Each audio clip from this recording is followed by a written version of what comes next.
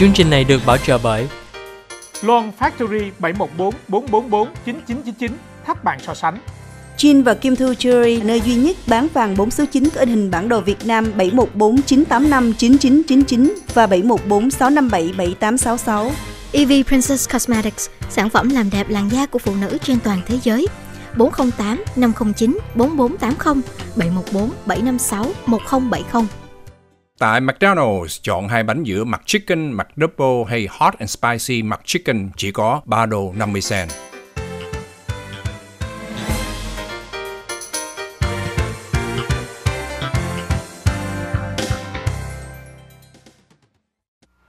Cảm ơn quý vị vẫn tiếp tục với phần 3 của chương trình Cà phê sáng của Lido Sài Gòn TV.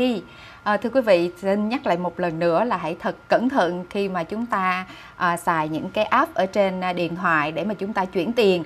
Và quý vị cũng nhớ là khi mà mình xài cái Zelle đó, cái Venmo Ngọc Lan không có xài, Ngọc Lan không có biết nhưng mà riêng cái Zelle đó thì bao giờ người ta cũng hỏi là à, cái số tiền này khi đã chuyển đi là không thể lấy lại phải nhớ như vậy. Thành ra trong cái mua bán đó đôi khi có những người ví dụ như mình uh, họ cho mình số phone ok trả tiền cho tôi qua số phone này mà đôi khi họ họ đảng trí một cái họ để một cái số sai đó cái mình gõ vô cái chuyện cái pub đi mà bên cái cái số phone đó mà nó họ đã uh, register cái account đó rồi đó là coi như cái tiền bay cái vèo vô trong account kia liền mình không có cách gì mình đòi lại được hết.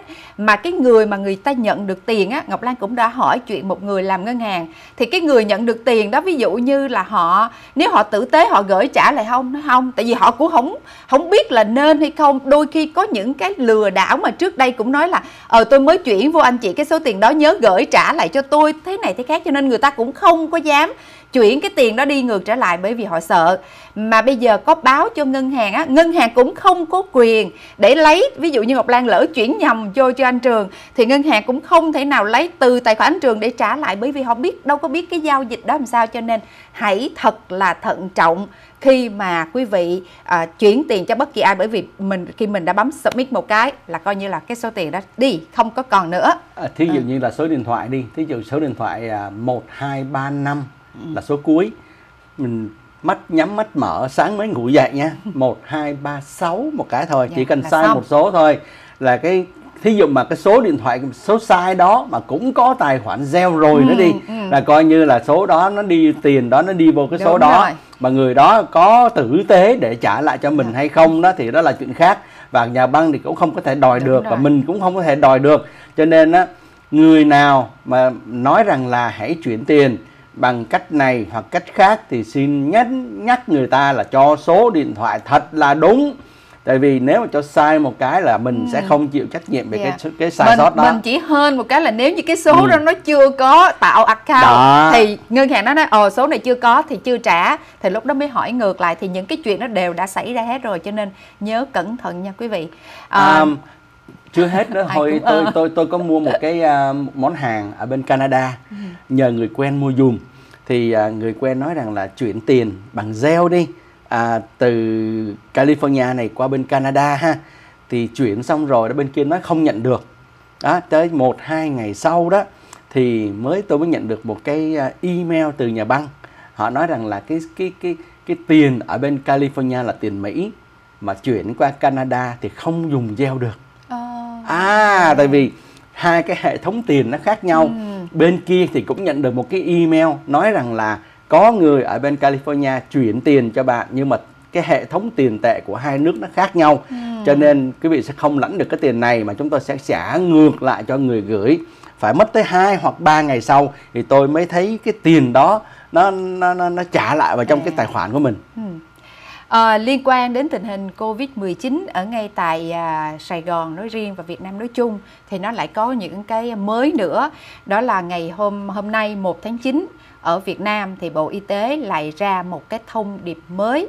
Đó là thay vì trước đây mình chỉ nghe là à, tuân thủ 5K, 5K, 5K tức tức là khẩu trang, rồi khử khuẩn, khoảng cách, không tụ tập và khai báo y tế, có nghĩa là bắt đầu bằng chữ k k k Bây giờ bắt đầu từ ngày 1 tháng 9 lại có thêm thông điệp 5T à, cho tiền tình tù tội. Nó phải nên là giỡn thôi. Thông điệp 5T là à, tuân thủ 5K test Covid-19 tiêm chủng thực phẩm đầy đủ tại nhà thầy thuốc đến tận gia đó là 5T bên cạnh cái chuyện mà 5K thì bây giờ là có thêm 5T và Bộ Y tế cho biết thông điệp 5T là pháo đài chống dịch Covid-19 Ngọc Lan rất là lạ ở cái chỗ tại sao đó hay là tại vì Việt Nam triền miên ở trong cái chuyện mà đánh trận.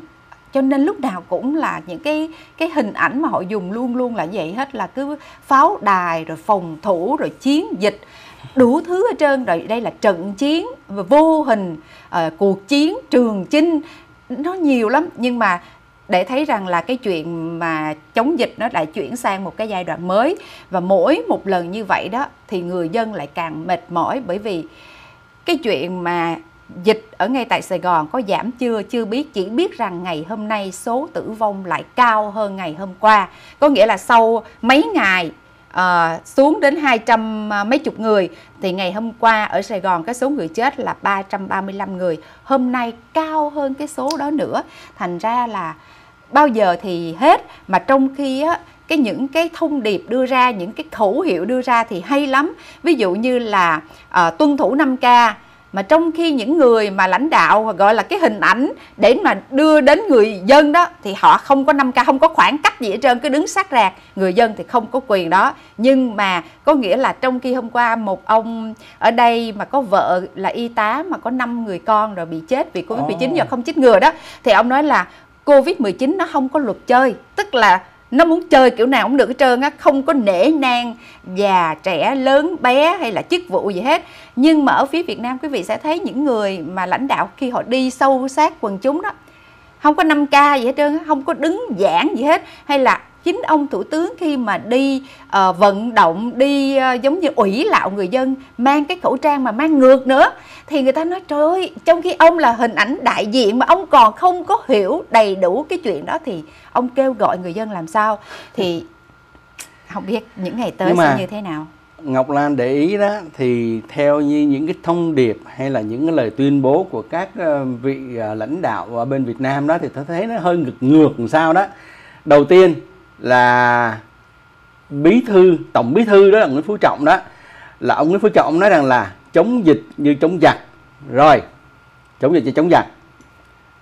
Ông mới đây, ông bộ trưởng quốc phòng hay là ông tướng ông tướng tôi cũng không nhớ tên, thì ông nói rằng là không thắng không về, tức là chống dịch như chống giặc nha. Còn ông này thì tuyên bố rằng là không thắng không về. Rồi mới đây thì ông thủ tướng Phạm Minh Chính ông nói rằng là thôi chúng ta hãy có kế hoạch để sống chung với dịch. Như vậy là thua rồi hả? Như vậy là mình thua rồi đúng không?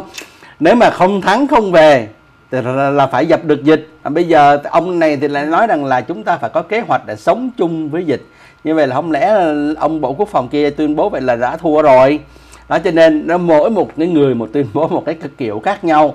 Và nếu mà lên tiếng đó thì bị truy tố luật hình sự liền 117 bộ luật hình sự gì đó là à, phát ngôn gây hiểu lầm hoặc là à, chỉ trích chế độ hay là nói xấu chế độ vân vân. Thì cái đó là cái chuyện trong nước. Nhưng, nhưng mà, mà đang Ngọc Lan muốn đang nói ừ. đến á, ngay cả chuyện á, ở trong này khi mà cái 5T họ mới đưa ra đó có nghĩa là 5T thì bắt đầu bằng tuân thủ 5K có nghĩa là 5K kỳ trước vẫn giữ nguyên. Rồi đến test Covid-19 cái chuyện test Covid-19 này đã có những cái nơi mà họ lên tiếng á, họ làm rất là máy móc và họ cứu không phải là có thể là theo chỉ tiêu hay không. Bởi vì tự dưng cái ờ, cứ lùa ra test đợt 1 xong lùa ra tiếp test đợt 2 xong bây giờ yêu cầu test đợt 3 rồi cái có nhiều người họ nói tôi không đi đâu hết tôi ở nhà tôi không cần test tôi không bước ra đường trong mấy tháng nay. Bởi vì cái chuyện mà bước ra để đi test đó đối với họ không có an toàn chút nào hết. À, đông người rồi những nhân viên y tế đó không làm cho họ cảm thấy yên tâm thì bây giờ đến cái đợt cuối cùng là test đợt 3 thì bây giờ phường lại nhắn tin vô những cái đó nó giống như những cái khu xóm đó có những cái group ở trong xóm đó. Ai không test đủ 3 lần thì có thể không được phiếu đi chợ.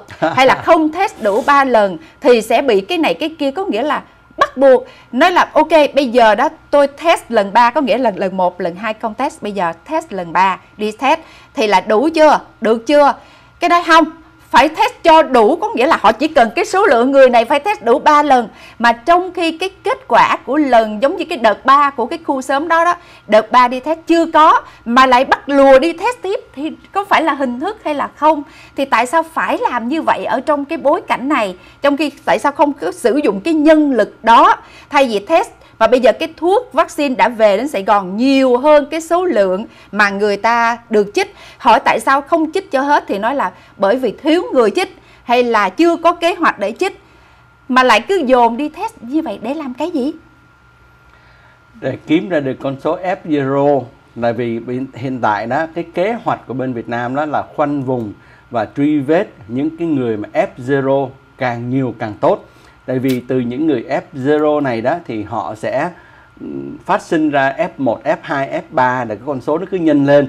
Cho nên bây giờ phải đi tìm tìm tìm những cái người F0 và đặc biệt là trong báo ngày hôm nay ở bên Việt Nam đăng đó là ở tại Hà Nội có rất là nhiều những cái điểm nóng đã phát ra à, đã đã đã phát hiện ra được những cái nơi đó là những cái nơi mà có nhiều người F0 rồi, rồi bây giờ chưa nói tới cái việc mà à, phát hiện ra những như vậy nữa là có những cái đường dây nữa làm con dấu giả và giấy phá, giấy uh, test xét nghiệm âm tính giả rồi bán cho những tài xế lái xe đi hết chỗ này đến chỗ khác.